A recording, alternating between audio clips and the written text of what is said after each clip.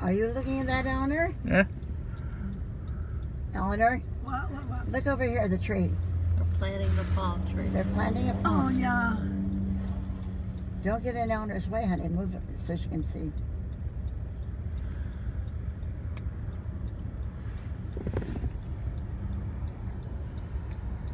The guy with the white shirt must be the boss. Must be, just standing there. Yep. Sidewalk superintendent. Uh-huh. Uh, But it can't be a county job because they'd have four people there. no, that's the one Walter Duke made money on. Brightline.